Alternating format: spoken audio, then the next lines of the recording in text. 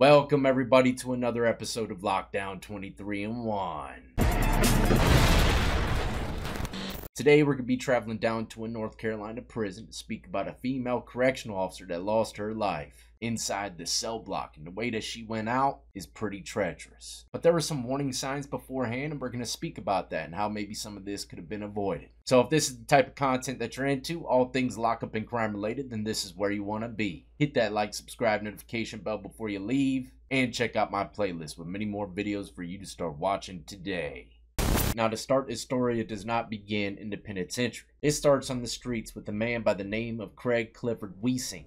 Mr. Craig Wissink here happened to try to do a little armed robbery in the trailer park. Got wind that someone had a little bit of reefer with some cash, decided to go to his house with a shotgun with one of his buddies. Upon getting there, they end up kicking the front door in. Mr. Wissink happens to fall through the front door, gets kicked in the head by the owner pushed out somehow and closes the door behind him. That's when he blasted the shotgun through the front door, shooting the homeowner directly in the chest. His wife comes out to see him bleeding out on the kitchen floor where he eventually loses his life. Now the article said that they kicked in the door. I'm guessing they probably broke the locks. So the homeowner, once he got him out the house, was probably putting pressure up against the door to make sure they don't come back in. And unfortunately, they ended up blasting sad situation, man. My condolences go out to the family the loved one lost, but Mr. Wissink happened to dip off and he was caught about two weeks later in Arizona with his girlfriend that testified on numerous things, you know, solidifying pretty much for the jury to find him guilty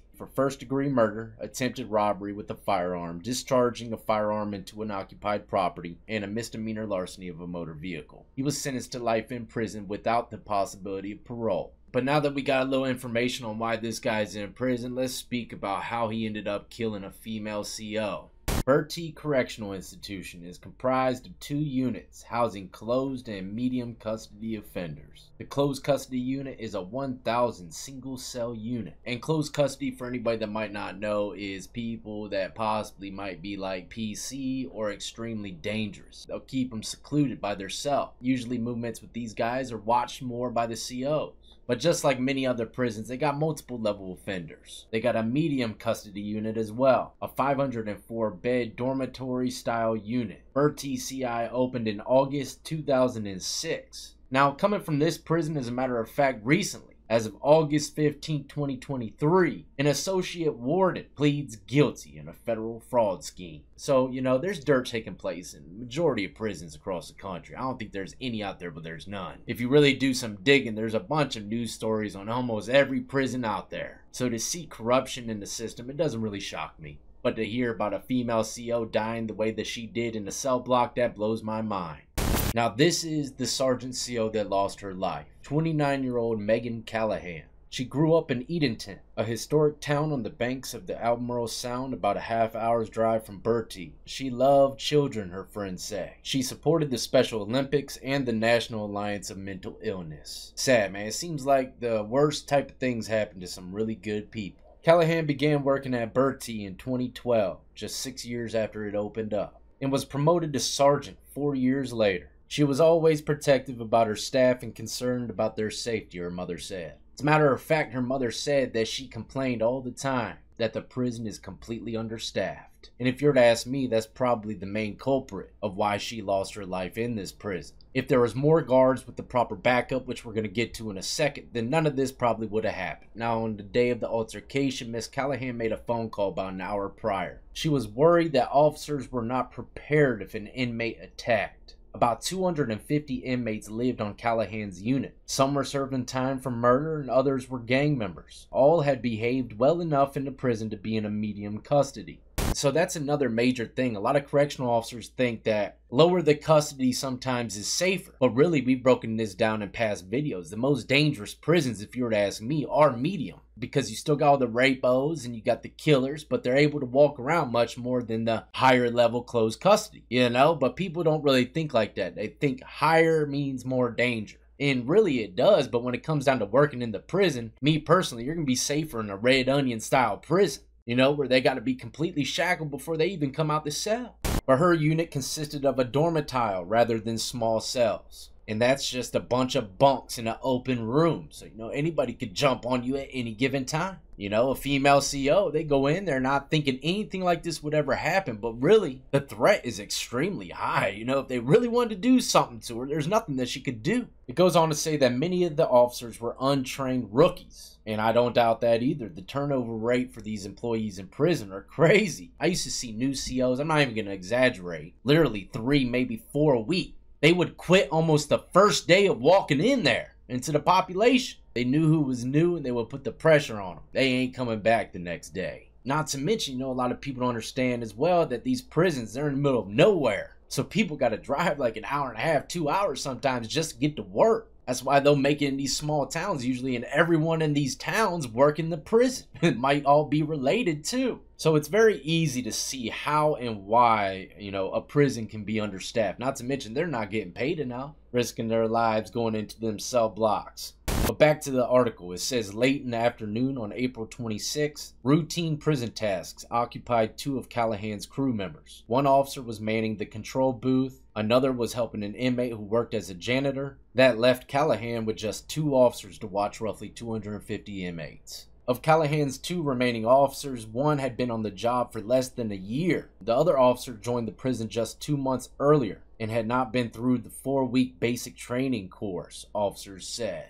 Homeboy ain't even went through basic training. You know he ain't gonna back nothing up. And in this training that the officer hasn't had, showed how to subdue an attacking inmate, right? So, you didn't even know the proper procedure to do this. He's just a normal cat coming off the street trying to get a job, probably. Don't care nothing about corrections. He or she, I don't know, man, they were probably terrified. I haven't even gotten to how it went down, man. Y'all are gonna be blown away. This is sad. But now that we know how short staffed she was, let's speak about Mr. Craig Wissink again. He was serving a life sentence for first degree murder, like we already spoke about, but he wasn't known as a troublemaker in prison, believe it or not. During his 13 years in prison, Wissink had been cited for six infractions, records show, which is hardly nothing for 13 years. I'm telling you, I got six almost within the first month. They included disobeying an order, interfering with staff, and substance possession. Wissink's relatively good behavior gained him a spot in Bertie's upper tan unit. But keep in mind, even though this guy's doing good in prison, he's still a killer, in there for life without parole. But somehow made his way to the upper tan unit, where the dorm's common area with tables, TVs, and a microwave was flanked by rows of bunk beds. Inmates there are free to move about in the dorm. About 5:35 p.m., about an hour after Callahan had that conversation with the other officer about short staff. Crazy, huh? Just an hour later. Wissink set a fire in the dorm trash can. Then he walked across the room and waited. Callahan was wrapping up her 12 hour shift when she took those two officers to respond to the incident. Upon arrival, about 60 inmates congregated nearby. Here's what happened according to documents from the medical examiner. Callahan ran from her office to the control room to grab a fire extinguisher. She doesn't run to the booth, try to get all the inmates to get on their bunk, and then wait for the fire squad. No, she tries to put out the flames herself with two other correctional officers, one that's been there for less than a year, and the other one that even went through basic training. She's the sergeant, so she's got to step up. One of the two officers who responded with Callahan went into the dorm but stopped. She stood in the doorway as Callahan rushed to the fire. Oh man, it was another female. She seen that stuff going on and said, fuck no, and I don't blame her. All of them should have pumped them damn brakes. But Callahan unfortunately went into the dorm, grabbed a 50 gallon trash can and put it into the shower area. Then Wazinski attacked her from behind. When Callahan tried to run from him, he threw boiling hot water from the microwave on her face. Told a story about that in prison before as well, man. Treacherous stuff. He boiled that hot water probably right before she came in, running for her life.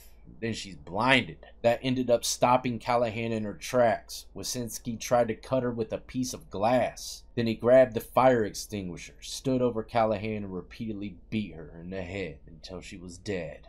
As the alarms sounded across the prison, six officers armed with metal batons rushed into Upper Tan. Wissink backpedaled and sprayed a wave of white fire retardant before dropping the canister. Keep in mind, that was the same extinguisher he just beat that girl to death with. He's fighting other COs off by spraying them with it. This is something that would scar people for the rest of their life in that cell block they seen it. He then pulls out a shank and puts it to his own throat when an officer shot pepper spray into his face. Wissink sobbed as he let the officers handcuff him, Others tended to Callahan. About 25 to 30 officers responded to the attack. This was the sergeant that she was talking to on the phone about an hour prior to the incident. He says he wanted to respond to the alarm, but the policy doesn't allow sergeants to leave their units. Sergeant Garganus, a former Marine who served two tours overseas, was standing at the bottom of the 10 unit stairs when officers carried Callahan down on a backboard. He helped lift her onto a stretcher. Seeing her, he said, brought flashbacks of things I had seen in Iraq.